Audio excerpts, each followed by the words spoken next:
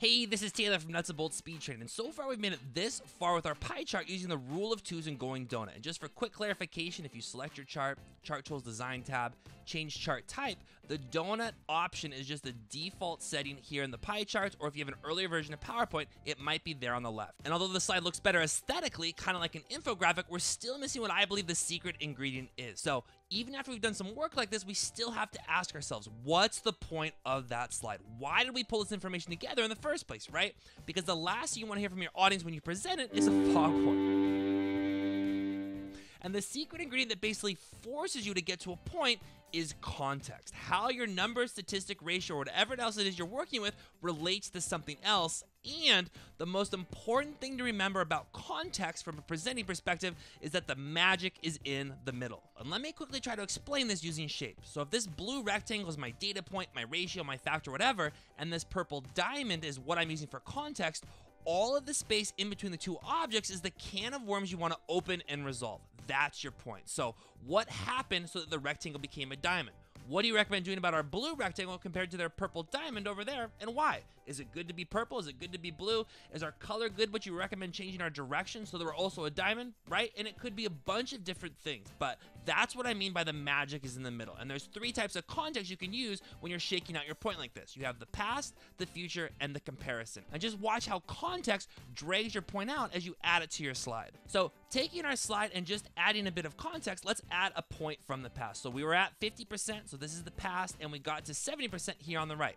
Well, the magic is in the middle. What happened between 2015 and 2016 that got us this 40% growth? So maybe our point is that our blogging campaign increased organic traffic by 40%, and we're now making recommendations on whether to continue it, whether to stop it, whether we need to do something different, etc. And I would even do something more here, but let's first add another data point before we do that. So here's another data point. So I have the past there on the left, and I have the future there on the right. So looks like from this case that we're growing 50% to 70%, but maybe again, the magic in the middle, maybe you're recommending that we need to do something even more drastic here to get that last 5% of our corporate goal, which could easily break down into a couple sets of slides. So maybe your first slide is we've gone from 50 to 70% with our blogging campaign which is a 40% growth, but to get that last 7%, we're gonna have to do something radically different. And before I tell you what I would do to make this even better and why I would probably ditch the pie charts, let's add another data point. So let's say that this is my slide and I've added three more data points. And what I'm trying to show here is that over time, our blogging traffic has actually been fairly stagnant until we get to 2015 and 2016. So we did something here, the magic is in the middle, to make our growth go up. But using pie charts or donuts like this, it kind of looks like an infographic, but look how much more effective it is if I flip to the next slide when it's a column chart. This is much more effective to show stagnation. And then when we have our big jump here, if I just flip to the next slide, you can then highlight your point visually and you can check out one of our earlier videos to see some ideas for how to do that.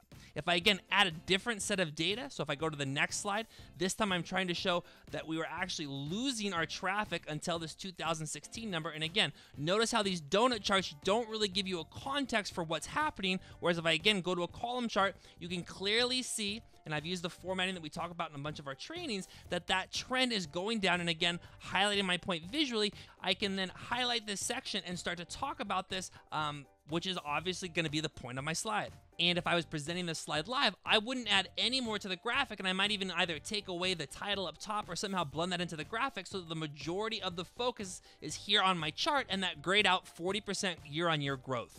Now, the last type of context, the comparison, is a bit special, Is this where you can get a little bit more creative with your data visualizations. And I'm not saying that this always works or that you want to overdo this, but I recently saw a great example, so I thought I'd stick it here for inspiration for this video. So here on the last slide, let's say that we're in the cruise liner industry. So our Allure of the Seas, maybe you've seen this floating around the internet, is basically five times the size of the Titanic. So maybe we're trying to get investment and we're just trying to show that we have five times the ship in a single ship. And although here with the rule of twos and going donut, this makes a pretty good data visualization. If you can get a bit creative and do something like this, literally showing how big the Titanic is here, and notice that the Titanic, the top of the Titanic, other than the smokestack, doesn't even come up to the bow line here, the Allure of the Seas, this is a much better data visualization. It will help you prove your point. I remember reading a book about Walmart, and instead of relating how many millions of gallons, or maybe it was hundreds of millions of gallons of orange juice they sold in a single year, which no one could really grasp just how much OJ that was. They instead broke it down into however many thousands or whatever swimming pools that actually was. And you can check out our blog post on storytelling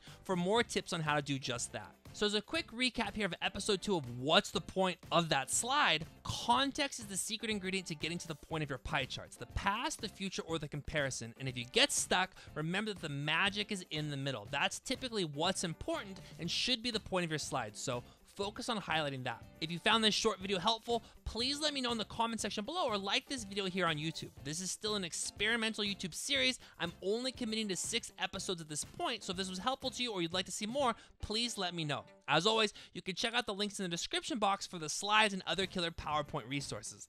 This is Taylor from Nuts and Speed Training, and I'll see you at happy hour.